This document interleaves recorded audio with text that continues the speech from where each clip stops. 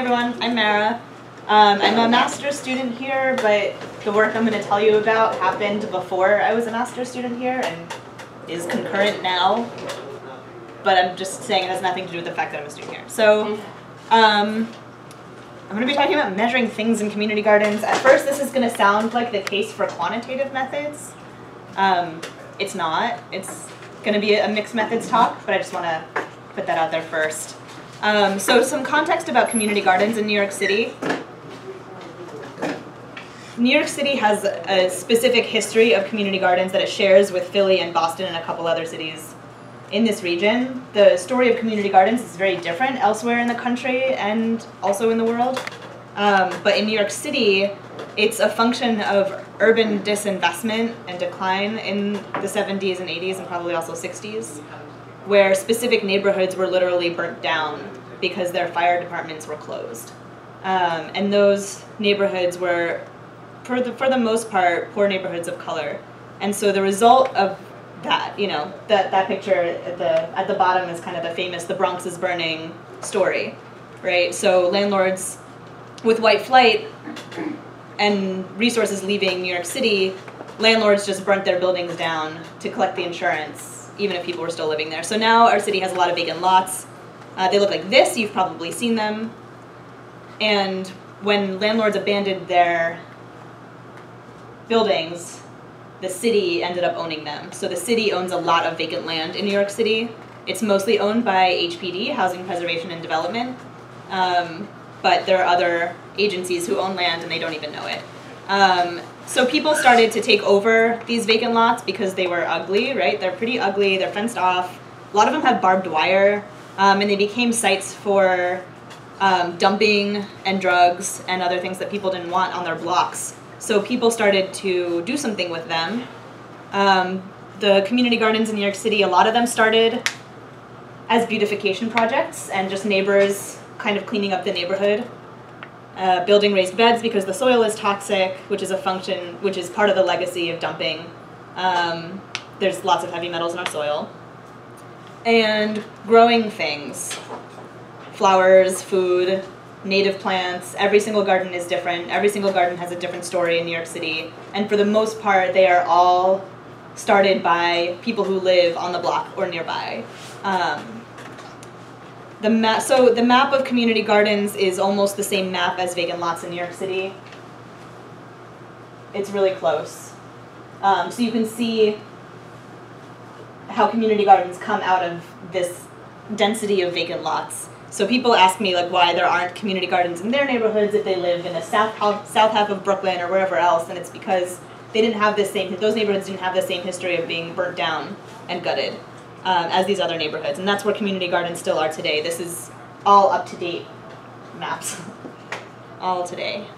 Um, and they're awesome. They're great places where people come together. Now we're starting to see more of the story that other cities see, like San Francisco and Atlanta. Community gardens are started mostly by nonprofits on behalf of another population, like for refugees or for something like that. Um, we're starting to see more of that here where nonprofits are getting involved, but for the most part, it's still people just doing things for themselves. Um, and so they really peaked in number in the 90s. And then after that, Giuliani decided that all the gardeners were communists and tried to sell them all to developers. Um, he was getting, trying to get rid of as many vacant lots as he could uh, and focused on, on the community gardens specifically because they were these sites where people were doing things for themselves. Um, there are some amazing quotes from that era from Giuliani calling gardeners the enemy, and all these fun things.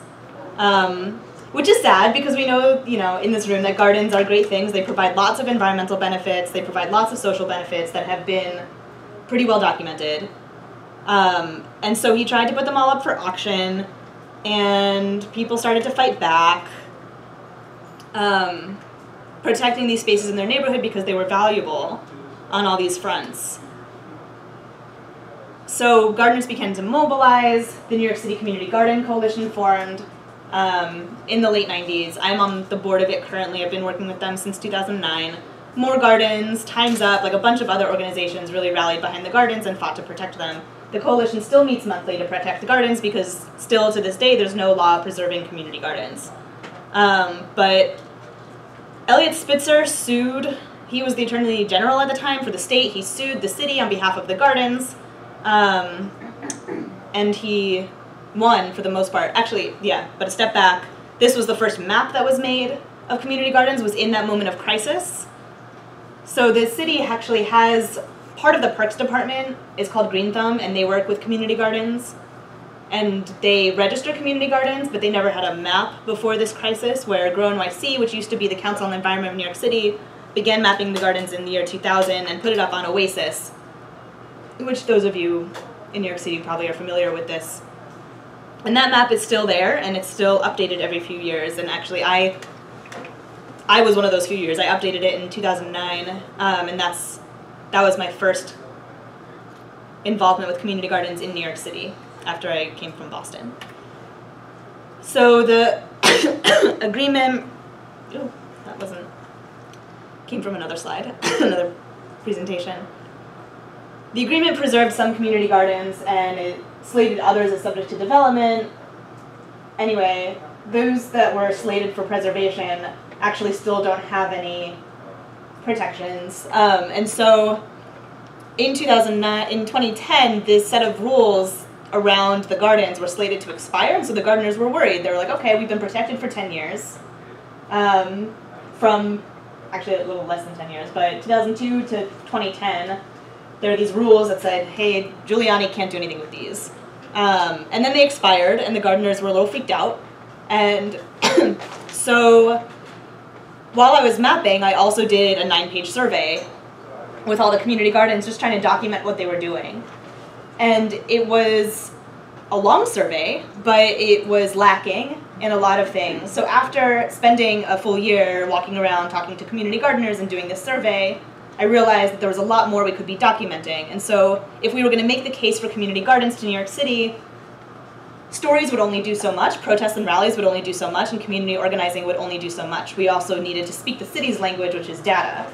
And so I started a project called Farming Concrete, which was working with community gardeners to collect their own data to be able to share their value with the city um, in a different way than they were before. So Farming Concrete first started um, with the low-hanging fruit of measuring food production, which is easy, and a lot of gardeners were already doing it. And so with 1500 bucks from Green Thumb, we bought a bunch of scales, and we went out to community gardens by you know, by hand. A lot of community gardens, again, because they're, you know, in neighborhoods that lack a lot of resources, and a lot of these gardeners are aging. A lot of community gardens in New York City are not on the internet, and they barely even have working phones. They're very hard to reach. So if I was going to reach everyone, we went, we had to go out on foot and find them in the garden, uh, and we did. So this is an example of us just like stopping by a garden and dropping off materials we left notes on the locked gates. That actually worked. Um, I didn't think it would. It totally worked. We got some gardeners who found our notes and ended up being part of the project for over three years. Um, it started in the first 2010 was our first season, um, and it was originally going to be a three-year project because it was no one's day job. Uh, that's Kamen Gadi. I don't know if you guys know him. He's an awesome professor. He is also a gardener and I got to meet him and deliver him a scale, and that's his wife. so, um, so the original method was just these scales and these harvest logs, um, and the first year we used SurveyMonkey to collect the data. Most people, again, not have they don't have computers. They were not on the internet, so they mailed us their um, their harvest logs and I typed them in. And it was fun because I got to see what everyone was doing around the city. Like, wow, that person harvested 16 pounds of garlic in one day. What are they going to do with that? um, it was really fun. The second year we wrote Barn, which was our online database, um, which gardeners could enter in the data, see themselves on a map, they could get the raw data back, and they could also click a button that would generate a PDF report with charts and graphs already laid out. Um, and so we did this for three years, and we talked to the gardeners who were participating about why they were, uh, you know, getting involved. The first year, we were recruiting gardeners specifically because the rules were expiring. So we had something that would require citywide data, right? So this data doesn't exist. That's kind of why we're doing it, and the gardeners could really benefit from it. And I was a community gardener and a community garden activist, and I was like, we need more to be able to make the case to the city. After 2010, after the rules were expired, and they, you know, made some new ones, we didn't have that same crisis. Although community gardens still, again, don't have this legal protection in New York City. It's the agreement is quasi legal. Any mayor can just scrap it, um, and it's hardly followed. Gardens still get destroyed in the middle of the night without any notice. Um, so, just to give some context, a lot of gardens now are expanding in their programming, while before it used to be a lot of just gardeners growing food for themselves or making a community park or a shared backyard space or a back barbecue space or even a place for dogs or place for kids. Um, now a lot of them are increasing their programming. They're partnering with schools. They're doing things to embed themselves in the neighborhoods so that they can't get be getting rid of as easily. Um, and so they're writing grants. With grants, you need information. So we got a lot of folks who are doing this because they are writing grants, and the funders are asking them for this kind of information. But also, the more we talk to folks, the more they were like, you know, we don't really don't identify with our food production being our one major thing that we should be measuring here. We're doing so much more than that. So what can we do? Um, and so, oh, and this is the the software that we wrote also tallies everything up so we can see it, which is nice. So we can count as we go. Um, we published about our methods, which I'm just noting here because I hadn't even started a master's degree. And it's the you can still publish. I'm just saying that. You can still publish. Oh. Huh. This kind of got funky. So, so there's definitely a desire in community gardens, in, amongst community gardeners, to start to really measure the impact that we're having on the city. And so we decided to measure everything. So at the same time, or a little bit after Farming Concrete started, Design Trust for Public Space also got really interested in urban agriculture and tried to do a similar project. Um, and so we partnered because we already had the tech infrastructure for data collection, and we also had a network of community gardeners already on board for collecting data. Um, and so, and we also had kind of a politics that they didn't necessarily have. After our first year, I was able to get a grant, like a pretty big grant for the project. And I used all of it to pay the gardeners who had done it in the first year to go out and find new gardeners. I also bought some scales because we always have to buy new scales. But so we had this like this method or this strategy of gardeners teaching gardeners so that when farming concrete itself wasn't it, you know actively doing anything that knowledge was still out there and that training was still out there and people could just teach each other and that's how a lot of things happen in community gardens anyway so we partnered with Design Trust for Public Space, who comes with lots of resources and fancy design people. Um, and so they were able to hire a bunch of gardeners and farmers to come sit in a room and discuss what it is they wanted to measure and then come up with how we were going to measure it. So we did that in one day. It was awesome. And we came up with this, which is a whole list of things to measure, and I have it all in the binder here. Um, so from that workshop of figuring out what to measure and how to measure it, we turned it all into like these lovely protocols, cutouts, things you can post on the garden, uh, billboard in the front of the garden. It's all analog. It's all things that can be done on paper. Um, so they're a way to kind of quantify. You guys can look at that and pass it around. They're a way to document things like moods changed in the garden and skills shared in the garden and kind of these deeper, more qualitative ideas, but that we could still come up with a common method so we could aggregate it across the city. So it was a way for us to kind of translate a little bit all of these other things that we wanted to be able to measure in our gardens, which was like wellness, um, changes in attitude amongst kids, right? So we have a little game called Yum and Yuck, but we can work with kids because a lot of them, you know, might not eat a raw green bean. They've never had a raw green bean, or it's a vegetable, so they automatically say, "Gross! I don't like it." They try it and then they vote again. so there are all these things you can do in the garden to start to quantify those things. Um, so that was cool.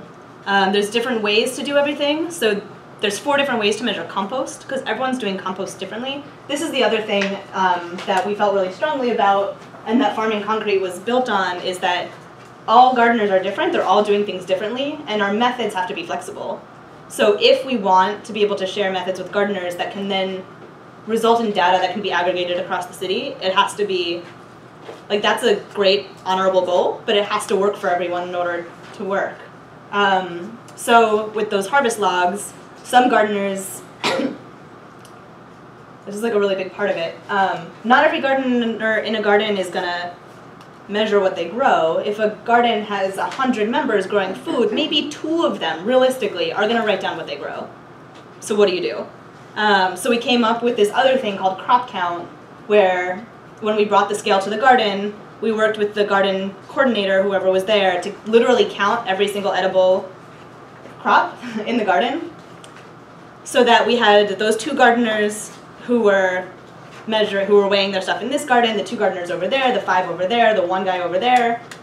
And we had them measure pounds per plant so that we could average out across the city, on average for like 2011, how many pounds per plant gardeners were growing, which takes into account things like people disappear in August and gardeners are all different levels, skill levels, and not sometimes visitors come through the garden and steal your tomatoes. So it's kind of an average of what you can expect in a community garden in New York City.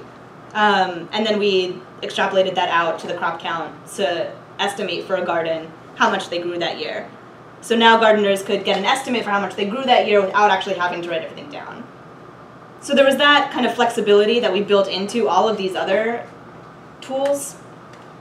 Some gardeners are going to want to measure their compost by the food scraps coming in. Some are going to want to measure the finished product. It's all up there. and it doesn't require anything besides like a bucket and some tape and some markers. All of them are like that. None of them require any infrastructure. This is Beauty of the Garden, meant to, it's used in a lot of different ways. Um, it was meant to start to answer the question, are we, are we, um, how are we impacting the people in the neighborhood who walk by? Is this making their day better? How can we know?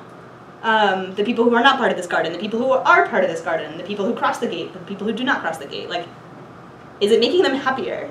this was like a big question. How do we start to measure that? So there was this uh, beauty in the garden idea that came out where we put price list tags on the thing that strikes you the most.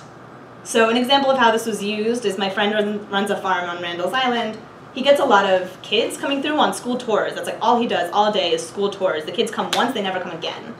And so he did this with them and had them put tags on things they thought were pretty or interesting. and he found out that they thought that tatsoi was really like super interesting and beautiful. And he never even brought them over there because they're kids and kids don't necessarily like leafy greens. He never showed it to them before. Like they also put a bunch of tags on the chicken coop and that he knew. But this one he didn't, so he changed his whole tour based on that. Um, and other gardeners did it too. Sitting out like in front of the garden at a table and just asking passersby to go in and label something pretty that they thought was pretty to see how they were impacting those who walked by. This is what barn looks like now, now that we've had fancy designers look at it. it's a lot nicer. Um, and we've opened it up to gardens outside of New York City. So now there are gardeners in Philly and in Buffalo, New York, and Austin, Texas, and Manchester, and all these other places who are starting to enter their data as well. This is what Beauty of the Garden looks like on the internet. So we found ways to really, yeah, to kind of answer these deeper questions about community gardens and still start to collect data in a way that we can now share a story with the city if we wanted to. What else did I want to say? Um, it's a dynamic project. It's always growing and changing. Some gardeners want to, um, you know, be able to write down. We can, that's the other thing about this is because we're, like I use it on my site. My day job is I co-run the urban farm at Kingsborough Community College. So that was the other reason why I wanted all these things is because I needed it for my job too. Um, I needed to be able to measure, excuse me, all the things we were doing outside of just food production. And so one of the other gardeners wanted to, you know, share different varieties, right? So like these green beans are rattlesnake green beans. There are lots of varieties of everything. Which ones work best for you? Which ones suck? Which ones like really don't grow well in New York City? Um, some way to be able to share that kind of information. And so now we're starting to build that kind of functionality in where gardens can share that information, how it went. Um, we're going to be, at the end of this year, we'll have a public facing page for Barn that'll be called the Mill. So the barn is where we store the data. The mill, I guess, from people who are not collecting data is going to be where you can find the data. So funders and gardeners who want to see who, what everyone else is doing will be able to access this public facing page with all the raw data. And gardeners will be able to opt out of having their garden name and address listed, but the very least it will have zip code. And all the raw data, like every single harvest logged, is going to be in there. Um, so we haven't, we're in the process of building that now. Um, in ways refining and tweaking. So the Community Garden Coalition, I can just give an example of how this data has been used. Um, a couple years ago, Green Thumb, again, the part of the Parks Department that was that works with community gardens, the city actually doesn't pay any money for. It's all funded by federal community development block grants. And so with the economic downturn, those that funding was threatened. So therefore Green Thumb was threatened. And so the New York City Community Garden Coalition, being the activist organization, stepped up and said, how about the city pays for some of it? And we were able to estimate, based on farming concrete data, the amount of money that community gardens were generating in just food production. And again, that's like just a tiny part of what community gardens do. And we were able to show that just the food production was like way more than Green Thumb's entire budget.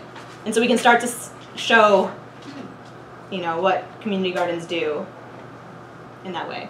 Um, so I'll take questions. What, what do you got for me?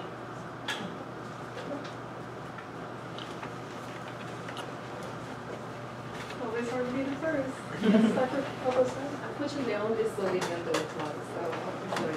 But it just shocked me with this last figure that, um, that the amount of food uh, that community gardens generate is uh, bigger if expressed in dollar amounts than uh, with the budget, right? Mm-hmm.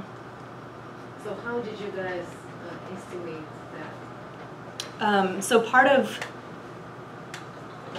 yeah, so like I mentioned, we have the the crop count, which is an inventory of edible crops, and in the crop count, we also write down the dimensions of the raised beds, so we know how many plants there are per square feet, and then we know the estimated yield of the plants, and then so we can also, if we just like lump all the data together, estimate yield per square foot, which is not a great measure mm-hmm. but we can do it. And then Green Thumb, as part of their annual site visits that they do for all the community gardens, keeps track of raised beds. So we went through and we found all the gardens with raised beds, and we es- and we just extrapolated out.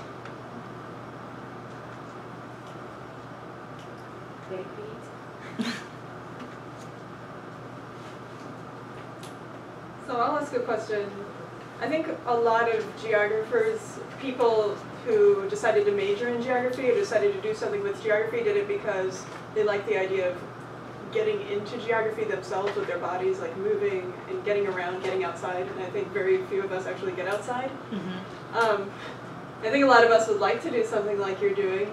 Um, a lot of getting outside may, may involve interacting with the community, um, but that's kind of scary for an introvert. Like, are you, how did you did you throw yourself onto somebody, or how did you like?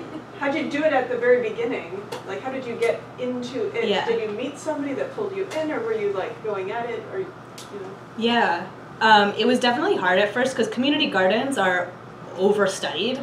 They're sick and tired of being the subject of studies. So there was a lot of skepticism coming at this, but I think the fact that, you know, I wasn't a grad student, I mean, I, you know, I wasn't in that position. I wasn't doing research for my own benefit. I was part of a larger group who recognized the need for more information about the work we were doing. Um, so I think that was part of it, which doesn't help at all. But I think, I mean, and this is like one of the critiques I have about academia in general is that a lot goes into producing data, and for into producing research and often it ends up in an academic journal and it doesn't end up anywhere else and so communities that are studied don't really get to see what happens after that. They don't get to see the results they don't hear about it for the most part. And so i think once folks realized that this was not that story that this was a different story um, that they were totally on board. The only folks who after hearing more about the context of the project didn't still were not that excited about writing things down were folks who thought that if the city actually knew how much food they were growing they would try to tax them or tell them to grow more. Um, and they didn't want that to happen. And i was like dude the city like is not gonna look at this data i don't know. They're not gonna be pay attention and they you know they all agreed but yeah. Um, so where, where are y'all in terms of securing like a concrete law that you can't just build a garden in the middle of the where, where, is there like a bill in city council or is there Mm-mm. any? is no a bill maybe gonna be written that's gonna be on city council?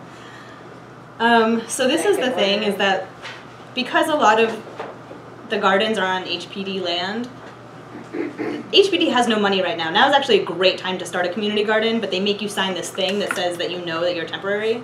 But they didn't make other gardens sign that.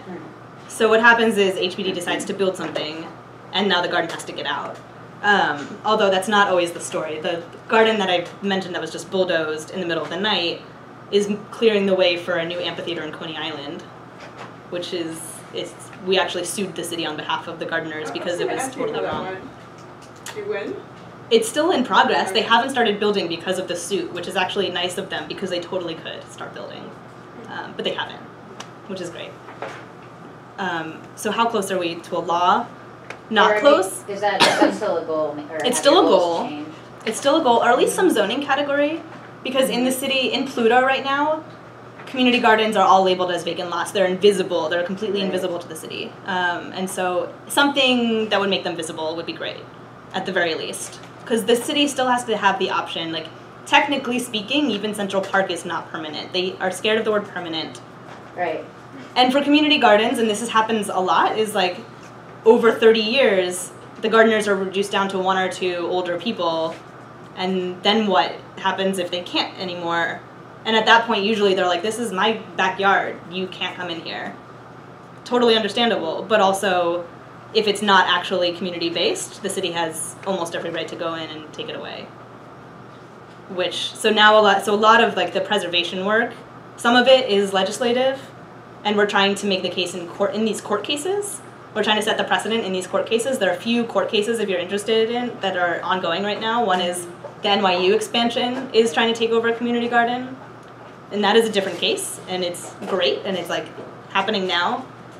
Um, so I can talk about that, but I think you have a question I did have a question. I mean, something you mentioned early on, something that I work on and a lot of people who do policy work are interested in is the the sometimes dual and sometimes trilingual you have to become. Like you have to become, you have to speak the language of policy Mhm. and the language of maybe your gardener and maybe multi, your multiple gardeners all speak different languages. And I don't just mean like they speak Italian or Spanish. They they speak uh, the language of the soil, you know, Yeah. or whatever. Um, and uh, I just I wonder if you could like speak a little bit more about like kind of trying to talk to you know to policymakers um, versus you know other audiences. Yeah.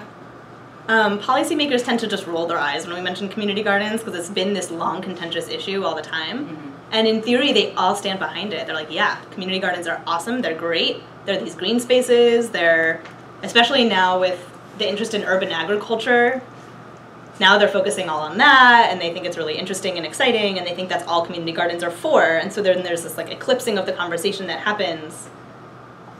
That's the conversation that happens on the policy level. Um, with gardeners, it's a lot of different things. I mean, a lot of gardeners are recognizing that they need to be like more visible and more active. And so actually some of these data collection tools help them set goals and see if they're achieving them, right? Like if our goal is to give kids these experiences in gardens, are we actually doing that? Um, and so I think just like presenting this idea of measuring things as something that has a lot of different good reasons for you know anyone wanting to do it. And also presenting it as just record keeping, which a lot of gardeners were already doing already, helps. Um, so it depended on like what the gardener's personal interest was. A lot of gardeners are not gardening for political reasons. Most of them are not gardening for political reasons. Like that's they're gardening because they want to put stuff in the ground, and that's awesome. Um, and so I think it, you know, when talking about this project, it just there was like a, also uh, obviously an aspect of listening that happened to figure out where the gardeners were at and if it's built so that not everyone has to participate and we can still get a robust data set. Um, at this point, we are no longer, I mean, it was only that first year that we were really like, a citywide data set would be awesome. Right now, we're focused mostly on helping individ- like the gardeners measure the things that they would find helpful for their own work. Um, so it's mostly about that. If there is a garden that isn't fully protected, that's not on a land trust, maybe they want to start keeping these records so that if the city comes along um, or developers come along, they have these records that they can show. Other gardeners are asking for funding. They also need that. Like there's so many different angles for it. Um, and as like a bonus, there's going to be the citywide database. Yeah.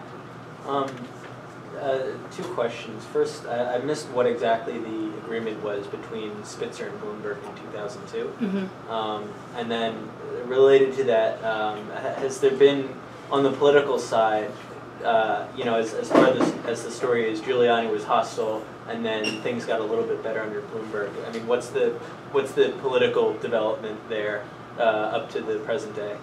Um, the agreement was that um, the gardens that were gonna be allowed to stay. There, the agreement just outlines a list of things, a list of methods for the city to be able to take that garden away.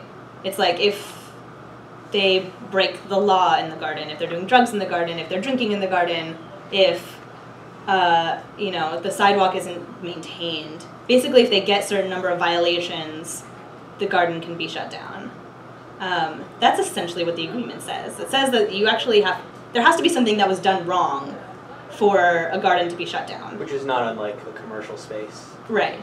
It's like almost any space. So that was all documented and written down. There are rules, there are things you have to follow. Like you can't break the law in the garden because it's city property. Um, and then it was like if this if the city's going to sell the land to a private developer, it has to go through this whole ULURP process, which means that the city council has to vote to send the issue to the state, which the No, it's, it's the community garden, I mean, sorry, it's community boards. It's- It's Community city boards. plan, it's city planning commission, and then community board decide, which it's actually non-binding, if they decide, even though they say no, yeah. and then it goes to city council, and then they vote, and then it goes to the mayor. And the, if the mayor, they, the city council could override a vote of mayor's veto if they wanted to. Is that for every individual plot of land? I don't, I mean, that's how the ULURP process works, Okay. that's for rezoning something.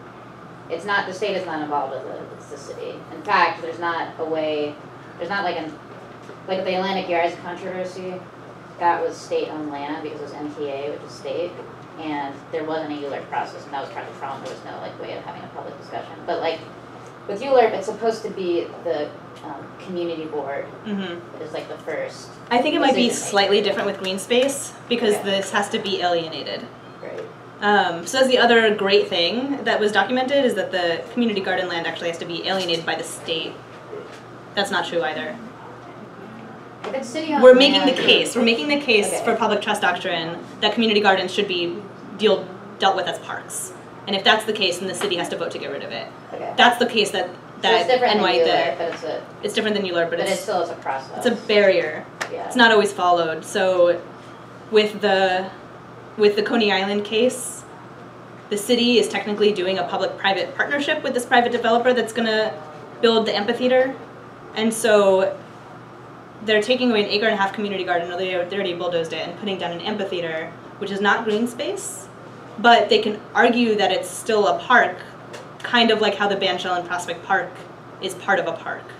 So we couldn't argue that they didn't follow like the proper procedures with that garden because they were like, but it's still a park. It's really funny, I mean, there's something, it's not similar, but it's kind of similar, in uh, Queens, there's like this, they're trying to build a new mall Mhm. right by, uh, Flushing Meadows Park. And there's this parking lot that was, that was parkland that was then alienated by Robert Moses specifically just for Shea Stadium. And now they wanna turn this, a lot of people wanna turn it back into a park. But there's like this whole thing about turning it into a mall, Mhm. and there was a court case, uh, just on the city level, and the judge just decided like, oh, actually, it's still falling under parkland because malls are like forms of, uh, entertainment, recreation.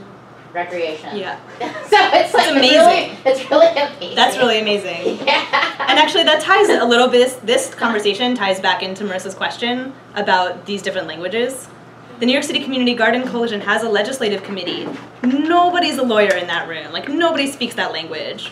We're making stuff up. Like we don't know. It'd be really helpful to find people who like know what they're doing to sit in that room. Um, and sometimes it works. I mean, we have a long relationship at this point with members of city council, and we can request meetings and sit in a room and be like, "Is this? Are we on point? Is this totally whack? Like, should we throw this out a window? Um, like, is this something that can happen?" So at some point, we started going down the path of changing the city's charter. And after several conversations with like city council members, they were like, "That's not the best idea because any mayor can just come through and change it again." Right. Um, so we have those conversations where we check in with politicians and see if this is something that's viable. Our next, I think the next move that we're gonna make is to talk to super local politicians about their own districts, about what work in their own district, and not try to do a citywide thing. I think that Um, could work, I mean, because that's kind of how participatory budgeting, there's just four districts, Yeah. now it's twenty-two. Um, you know, things can grow in that way too, and if something works, like on a district by district level. So